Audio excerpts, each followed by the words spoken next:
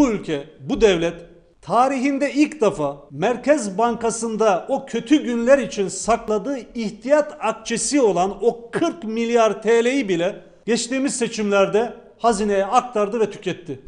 İşsizlerimizden bahsediyoruz. İşsizlik fonunda 130 milyar TL'yi aşan bir para var. Nerelerde kullanıldı?